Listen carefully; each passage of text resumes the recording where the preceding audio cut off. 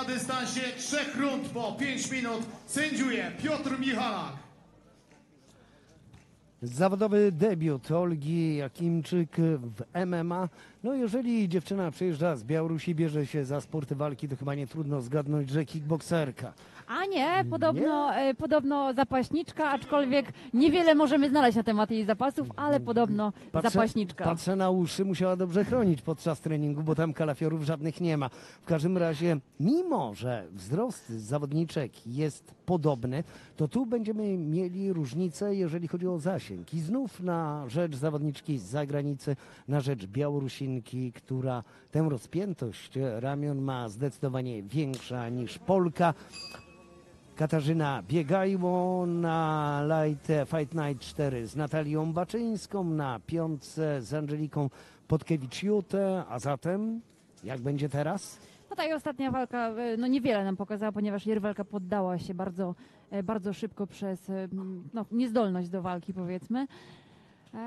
Ale myślę, że dzisiaj przede wszystkim tutaj doświadczenie będzie, będzie robiło swoje. Kasia rekord dwie wygrane, zero porażek. No to przede wszystkim brązowa medalistka amatorskich mistrzostw e, świata w Las Vegas. Także też e, sporo doświadczenie amatorskie. Bardzo boczna pozycja Białorusinki. To może jednak jakieś karate na z przykład. tą lewą ręką wystawioną do przodu. Tak mi się właśnie wydaje, nawet sposób poruszania się taki jakby charakterystyczny bardziej dla karate niż dla kickboxingu. Żadne z nas zatem nie miało, nie miało racji. Za to Kasia to, to zdecydowanie zawodniczka e, parterowa. Brazylijskie jiu-jitsu to jej najmocniejsza strona, więc pewnie to jest kwestią czasu, kiedy będzie chciała, kiedy spróbuje obalić swoją rywalkę, no i tam szukać swojej szansy.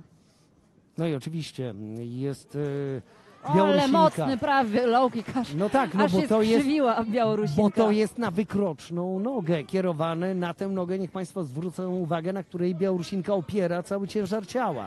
Sama się prosi ewidentnie, ale zobacz, w ogóle, w ogóle e, się tym nie przejmuje. Widać, że ta noga już Ludzie, ludzie z karate bywają twardzi. prawy wszedł. Ale Oj, chyba nie już aż nie tak. się bić. Oj, to walczymy, to nie jest kickboxing, nie, to jest zakończenie tej walki. Nie wiem, przez low kicki w pierwszej rundzie Tam w szedł MMA. prawy prosty.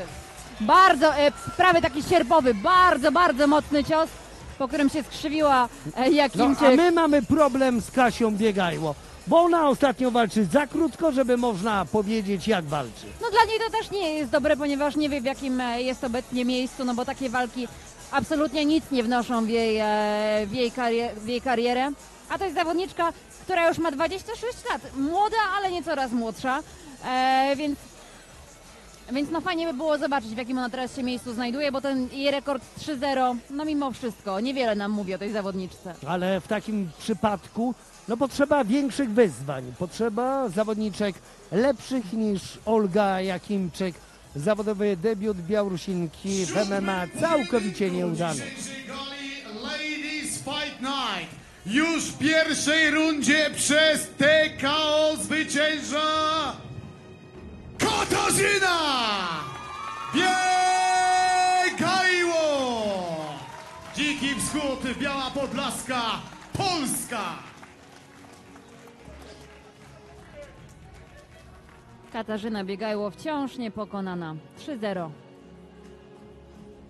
Ładnie buduje sobie ten rekord, ale tak jak e, powtarzamy, potrzebna jest weryfikacja. Szczególnie, że ona chce tych wyzwań, ona prosi o te wyzwania. Nie jest tak, że ona tego unika.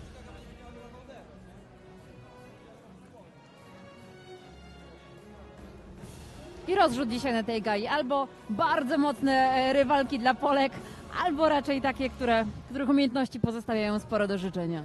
No a przed nami dwie walki, dwie walki wieczoru K1, Żaneta Cieśla kontra Silvia Lanotte i MMA Magdalena Sormowa kontra Krystyna Ta ostatnia walka, w której nie będzie Polki. Chyba nowym pseudonim, jeżeli chodzi